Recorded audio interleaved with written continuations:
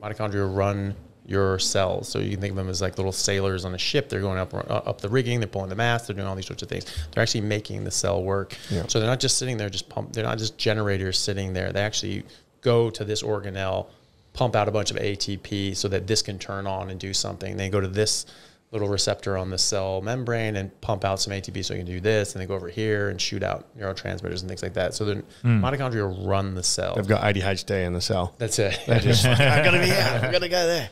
or, or you have ADHD if you don't have them working right, because Yeah. that's actually what they've showed. There's a dysfunction of the mitochondria can actually precipitate ADHD. Fucking motherfucked. Yeah, But is that something that we could help, like Delby then, like with ADHD, if Oh, yeah. adding creatine to his diet? well, in, in general, just helping the the mitochondria. So it- creatine can help that too, but um, you also want to go through uh, autophagy. You want to make sure that your your mitochondria, you know, things that slow down, they get broken down, they sort of wear out over time. Just like you know, different parts in your car, like you know, your fan belt might start to start to wear out. You don't replace the whole car; you just replace the fan belt. Uh, but if you don't, you can get other problems, and other problems start building up. So it's the same with your mitochondria and your other organelles. So this is the the, uh, the principle of autophagy. Yeah. So autophagy, self-eating. So you recycle your your cell eats up some of these organelles like the mitochondria if they're sort of getting damaged and slowing down, they're not working really well. And they recycle their their nutrients and they make new mitochondria or new organelles of other other descriptions. And so it's uh, people think that you have to fast to do this. So you have to fast for 72 hours plus Yeah. or something like that Yeah. you know, Dr. Uh, David Sinclair from Harvard and Peter Attia, they say, oh, you have to fast for like five days every three months. It's really Yeah, important. that's to what I heard. That the fasting over that certain time period, the body goes, "Oh, well, I'm going to eat my own cells instead."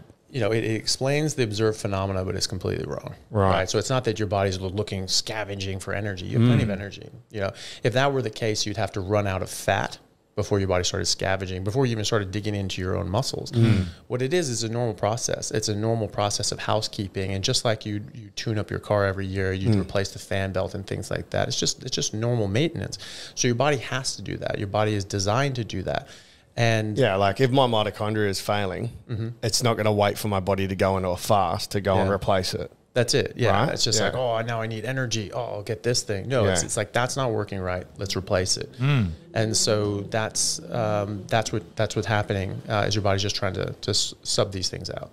So the thing is, is that they say that you have to do this by fasting, and fasting does this, and you have to go over seventy two hours to get you know proper autophagy. But that's actually not the case. It's really just high insulin levels suppress autophagy. And so that's the thing. It's just it's not fasting. It's not the it's not not eating.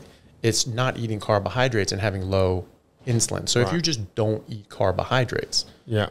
then you're going to be going through autophagy all the time. Your body's constantly going to be recycling out these organelles and these mitochondria, and that's what they've shown in in studies with ketogenic diets, like a carnivore diet, that after three four months you have four times the number of mitochondria, and they're four times as effective. And so now there's two uh, professors of psychiatry from Harvard who've independently come to the conclusion that ketogenic carnivore diets are the best medical treatment for mental health issues such as major depression, anxiety, dep- uh, OCD, bipolar, ADHD, schizophrenia, and even autism.